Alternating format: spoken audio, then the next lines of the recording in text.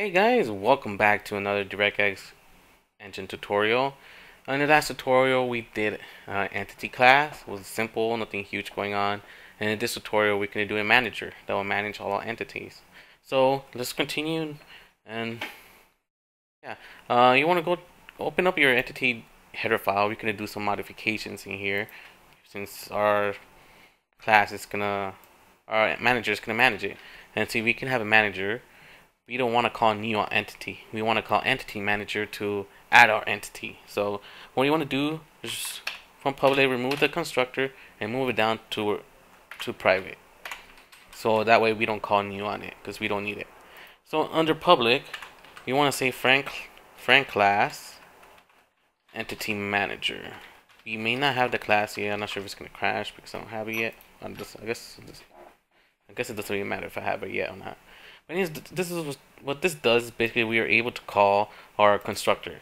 So when you call friend class inside an entity, we're able to call new new inside our entity manager class, which we will create eventually. So without further ado, let's create an entity entity manager. Uh, so we want to create add class. And I'm gonna call it entity manager. It's up to you guys how you want to call it. Entity manager already exists. Already created.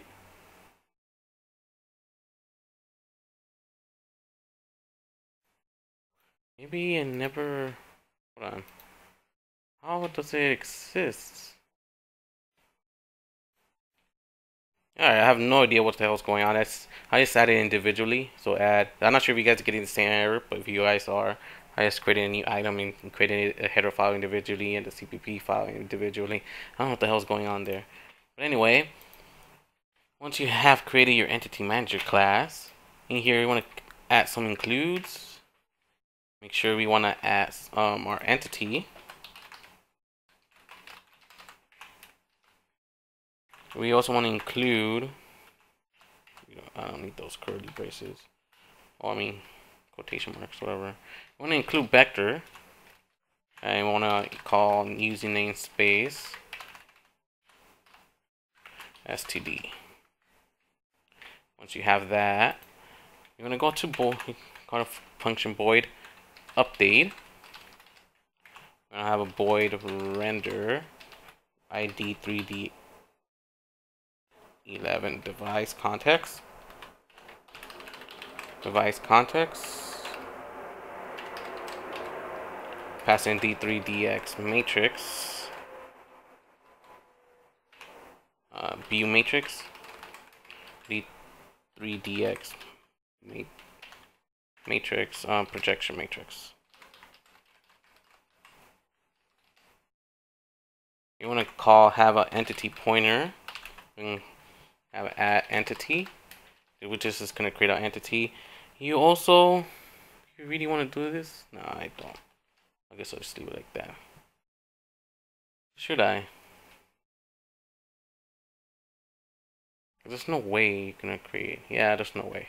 Never mind. Forget, I'm rumbling on my own, talking to myself. Anyways, you want to create another void remove entity. And you're to pass entity pointer, the entity that we want to remove. And we're to call it boolean and say call delete. Basically what this is doing is saying if once you remove it, do you want to call delete on it or not? Maybe there's times you don't want to call delete. Maybe you do. I don't know.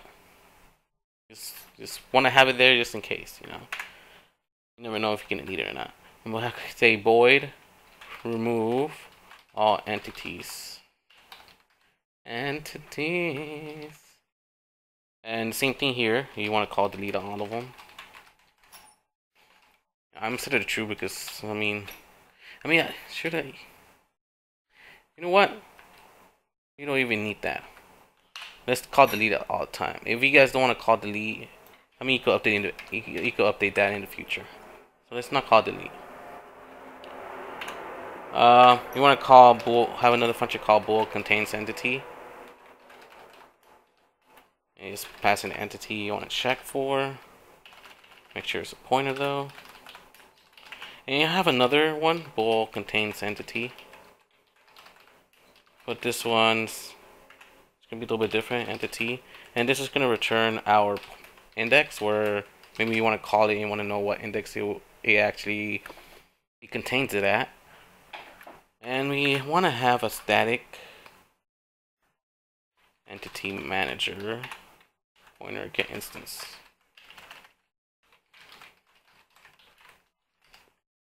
Then we want to have a private. In here, let's move our constructor down here because we don't we only want to have one entity manager. Um, you want to have a vector which will contain our, our entities.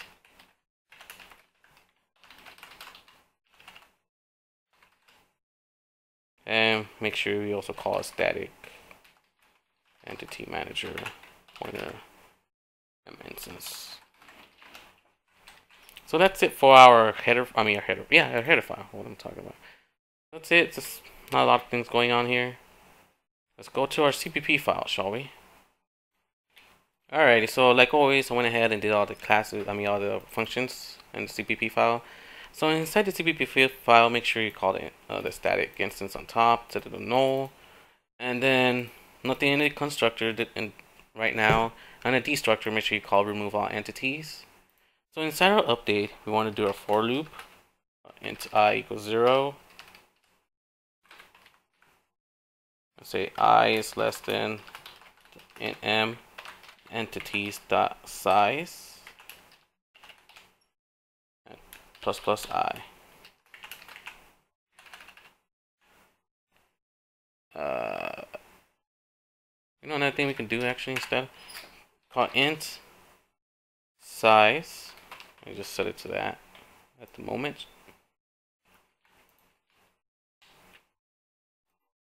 And set it here. So you want to say m entities. I call the update. We're gonna call the update there. We're gonna copy this entire thing again. You want to put it in render, and instead of calling render I mean update, you want to call render and just passing all the, the stuff that we need. View matrix and projection matrix. Simple as that. Inside our add entity, so we want to do entity pointer entity equals new entity. And we want to add it to the list, the pushback entity. And we want to return the entity. Okay, so in our remove entity, we want to check to see if this entity is null. We want to make sure this actually contains something before we continue. So if it equals null, then we want to just return. Otherwise, uh, you want to get an int index. I guess you could set it at negative 1. and just say if contains entity you're going to pass in the entity and the index and if it contains it then just call um, entities dot erase m entities dot begin plus index and we want to delete entity that's all we have to do for that. For remove all entities, you want to say while um, entities empty. Oh, not empty. Forgot to put the not at the beginning. Make sure you put the not at the beginning. While it's not empty, you want to uh, entity entity equals m entities zero. Um, entities erase entity stop begin. We want to erase the first one in the list and delete entity. Um, for our contains entities, could be really simple. We're just gonna loop through all of them. Int size equals int um, entities. I have no idea what the hell happened there. Entities dot size I don't know what happened here. So I'm going to do a for loop int i equals 0, i is less than size, plus plus i, not o. And then you want to check if m entities of i equals entity. And if it does, return true. Otherwise, return false. For the other one, you want to do the same exact thing. Just this one will contain our index. Let's officially set index to equal negative 1 at first. And if it does contain it, then let's say index equals i. And then return true. So anyways, once after you after you create your instance, um, basically this is it. This is our our entity manager. It's not something. It's a really simple one. I feel like it's better than the one I created back in DirectX 9. I'm not saying it was that bad for one, but this one's a little bit better. Um, and that one was that one was an array. I could have done an array here too, but that will be a lot longer. The functions will be super long because then I'll have to remove it from the list, and then rewrite the array and resize the array. I mean, and there's a lot of confusion going on there, so I didn't want to do that. Um, but anyway, this is our entity manager. It's really simple. Uh, now we want to test it. Because right now it's going to crash because we called new entity earlier. Or it should crash. I'll have an uh, error. If not, then yeah, there we go. So it's because we want to create a new uh, entity. We don't want to do that anymore. So when you go to entity engine, instead of calling entity, you want to say manager. Instead, I guess you could keep entity there for now entity pointer, um, entity manager. And in our engine CPP file, I guess you want to call, I guess, you know what, doesn't really matter because we're not going to keep entity manager in here. Should we? It is our engine, so I guess, yeah. Never mind, I'll keep it here. Entity manager equals null. Um, make sure you call delete. This is the reason why we, I didn't need delete anymore. I mean the release function anymore. Because I could do this too. So, um, but that's it. I mean, it's not that yet. No, not yet. um, so we want to do, we want to say entity manager, entity manager, get instance. So instead of saying new here, we want to add, um, add entity. And instead of calling update, we don't need update anymore. We want to call our entity manager update instead. And here, instead of entity, will will be our render of our, our entity manager.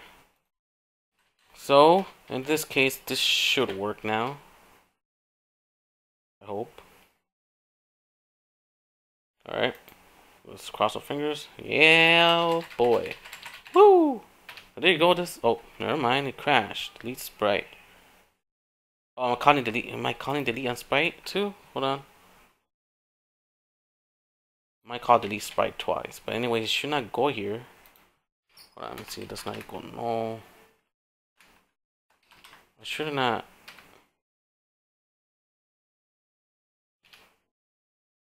See, it did crash. Okay, I don't know why would it crash when it's null, but anyway, and the reason being is because I forgot to call delete, because we don't need to call delete on entity anymore since our entity manager is going to do it for us.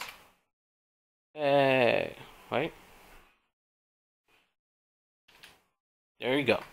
So, uh, yeah. So that's it for our entity manager. Wow. I thought it was going to be a longer tutorial, actually. But it's good that's short. I wanted to keep it that way. Um, the majority of the engine is done. The major things that I wanted to have in here. The next stuff is just more cleanup and have a player, have something moving moving around. Um, so that's the next thing. You know, we want to create a game component class where we can same thing that it did in OpenGL. So if you remember, I created a game component which will be our scene. Will be our uh, our game manager scene or game scene, or whatever. Which our engine is going to be um, controlling, I guess you could call.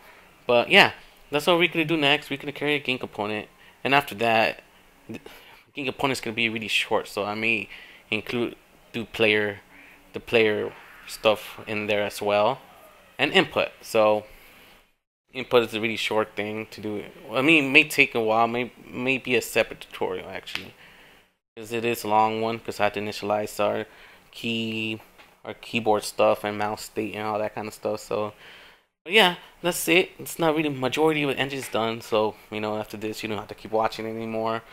You know, you could create all your own stuff now. But you want to keep watching it, you know, want to clean it up a little bit more. I guess you want to. I, I'd say you keep watching it. So. Anyways, I don't want to delay this video even further, so I'll end it here. I hope if you guys like this video, thumbs up. Let other people know about it. If you have feedback on things that I could do a lot better, or I could have done something better, let me know. I love the feedback. I, I, I get to learn from this process too, you know. You know, I'm not the greatest programmer out there because I'm not. So, you know, I'm just here helping you guys out. I hope you guys I hope you guys could appreciate that, you know. uh, but anyway, um, I hope you guys like it. Like I, like I said, you know, feedback is always appreciated. So, just don't be mean about it. you know, I had a lot of mean people back in the day. So, but whatever. Um, but anyway, yeah, I hope you guys like this tutorial. Thumbs up. Tell the people about it. And I'll see you guys next time, alright? Signing out. Sayonara.